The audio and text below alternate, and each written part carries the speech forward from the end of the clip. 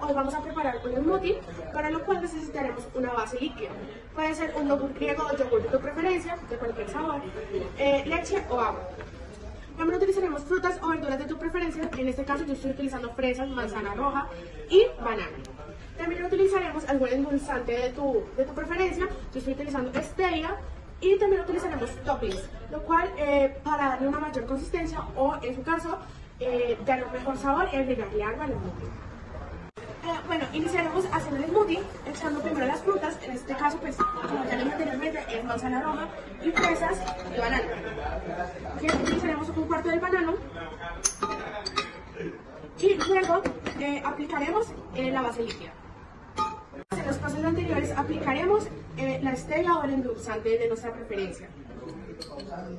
Y ahora lo procederemos a licuar. Y ahora esperaremos unos cuantos minutos hasta que se termine de licuar todo.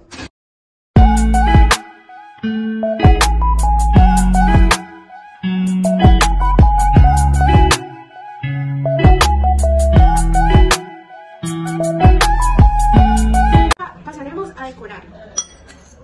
Utilizaremos unos cuantos bananos, trozos de banano, que se nos pueden hundir por lógicas razones. O también utilizaremos cereal, cereales y almendras.